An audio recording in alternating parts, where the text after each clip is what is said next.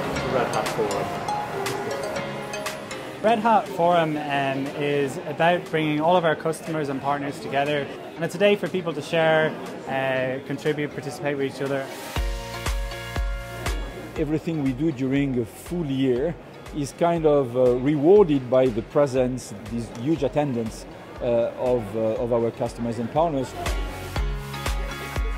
We have keynote presentations in the morning, we have a networking lunch, and then we have breakout streams in the afternoon, of which we've got five in total this year, plus a demo room.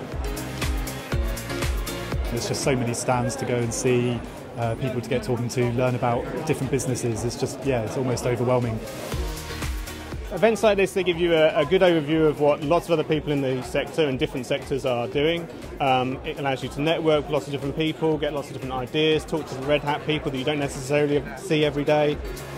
It gives great opportunity for people to share their ideas and the problems and see the parallels between businesses. You're seeing outside of your bubble, outside of your normal working day, and you're seeing the possibilities of new technology and where you can apply them.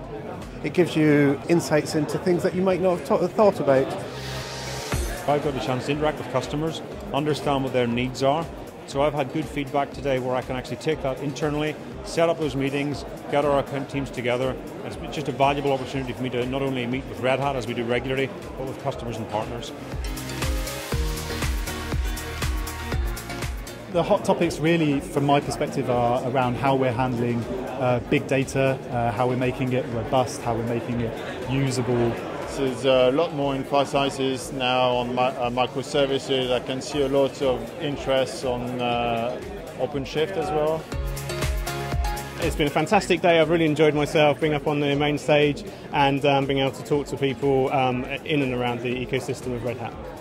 The rooms are still full with plenty of passionate people talking about technology and what they can do with Uh, uh, open source for enterprises. So this is an event which is fulfilling because without our customers, we will not be what we are today.